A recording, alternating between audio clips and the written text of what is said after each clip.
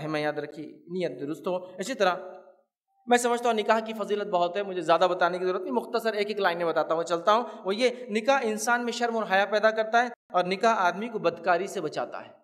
نکاح انسان میں شرم و حیا پیدا کرتا ہے اور انسان کو بدکاری سے بچاتا ہے، برے اعمال سے بچاتا ہے۔ اسی طرح جو ہے، نکاح جنسی آلودگی جنسی آلودگی، سمجھ رہے آپ؟ جنسی آلودگی جو ہے، اس سے جو ہے، ایک سماج کو محفوظ رکھتا ہے، ایک فرد کو محفوظ رکھتا ہے۔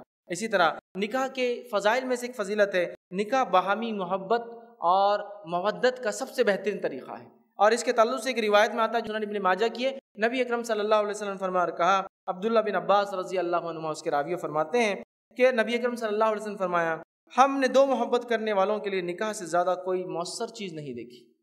لیکن یہاں یہ حدیث کا معنی یہ مت لے، دو محبت کرنے والے مطلب دو افیئر کرنے والوں کے لیے شادی زیادہ کوئی بہتر چیز نہیں۔ یہاں معنی یہ کہ جب ایک مومن انسان دین اور تقوی کی بنیاد پہ ایک لڑکی کو پسند کرتا ہے کہ دیندار ہے، تقوی والی ہے، تو یہ محبت ہے، تو لہٰذا ان دونوں کے لیے نکاح سے بہتر کوئی چیز نہیں۔ سمجھ رہے آپ؟ ٹھیک ہے؟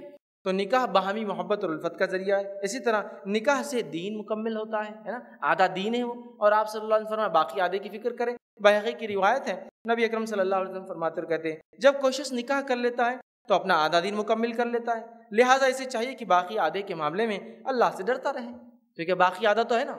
نکاح کرنے سے اس کو سارے معاملات، معاشرت اور ساری چیزیں سیکھتا ہے، پھر وہ کیسا رہنا سوسائٹی اور سماج میں۔ بچوں کی تربیت، تعلیم، محنت اور سب کچھ سیکھتا ہے۔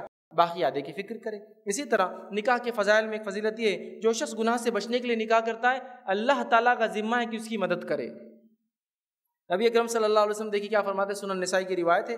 ابو حریرہ رضی اللہ اس کی راوی و فرماتے اور کہتے ہیں اللہ کے رسول صلی اللہ علیہ وسلم نے فرمایا، تین آدمیوں کی مدد کرنا اللہ تعالیٰ کا ذمہ ہے۔ وہ غلام جو اپنے مالک سے لکھا کر لے لے کہ اگر میں اتنا دوں تو وہ مجھے آزاد کر دیں گا۔ دوسرا فرمایا، معاہدہ کر لیں اور دوسرا فرمایا، برائی سے بچنے کی نیت سے کوئی شخص نکاح کا ارادہ کرے۔ تیسرا فرمایا، اللہ کے میں جہاد کرنے والا۔ ان تین کی بات کو پورا کرنا، مدد کرنا اللہ کا ذمہ ہے۔ تو جو نکاح کے لیے کوشش کرتا ہے محنت کرتا ہے کہ کماؤں، کیوں؟ اس لیے کہ کماؤں گا تو پھر بیوی بچوں، خرچ ہے نا ان کا، خرچ لاگو، ظاہر سی بات ہے جب کمائیں گا تو کچھ خرچ کے لیے اس کے اثر رہیں گا۔ تو وہ جب اس کے لیے محنت کرتا ہے، اپنی نفس کو بچانے، تو اللہ تعالیٰ کیا کرتا ہے؟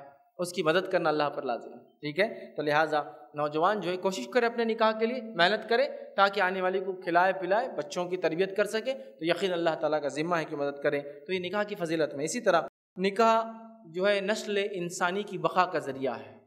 ہیومن ریس آگے چلتی ہے نکاح سے اور جہاں نکاح نہیں ہوتے، زنا ہوتے، وہاں انسانیت آگے نہیں بڑھتی، ان کی آبادیاں گھٹتی چلی جاتی ہے ترکیب اسی طرح قیامت کے روز امت مسلمہ کی کثرت نبی اکرم صلی اللہ علیہ وسلم کی خوش ہونے کی وجہ بنے گی، فخر کرنے کی وجہ بنے گی۔